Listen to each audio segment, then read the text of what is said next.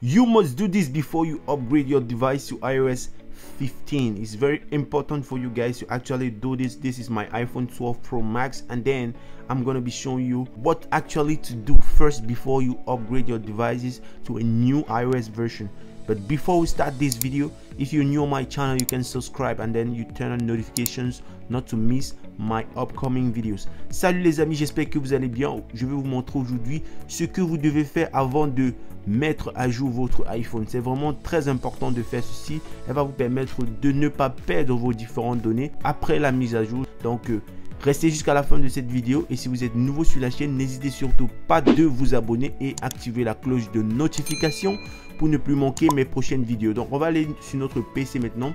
So guys, let's go right now on our PC and then you are just going to download the tool 3U Tools. This one is a free tool that's going to help you to actually get everything working on your devices and then you have to use this app first before you start upgrading your devices or you have to do exactly what I'm going to be showing you today because it's very important.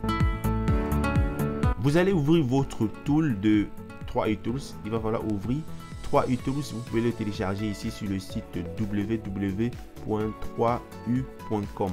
So guys, you just download these two 3u tools. You can get it on the website www.3u.com.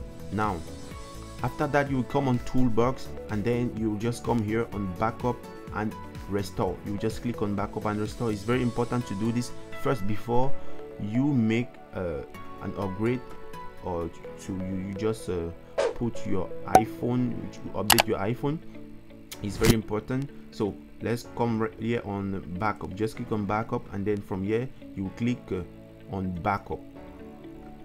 Once you click here right now you just wait until the backup ends. Donc vous cliquez juste sur backup et là vous patientez jusqu'à ce que le backup soit effectué. Une fois le backup terminé il va maintenant falloir tout simplement faire la mise à jour de votre iPhone. Once the backup is terminated, you can simply do the update. You can just update your device either by just coming on parameters and then click on update. So just click on update or you just use your PC in order to update. I've left the link of the video of how can you upgrade your device or just update your device to iOS 15 or the a new iOS so if you love this video please give it a thumbs up share with your friends and if you're new on my channel please subscribe and then turn on notifications to miss nothing on my upcoming videos. And as always trust the process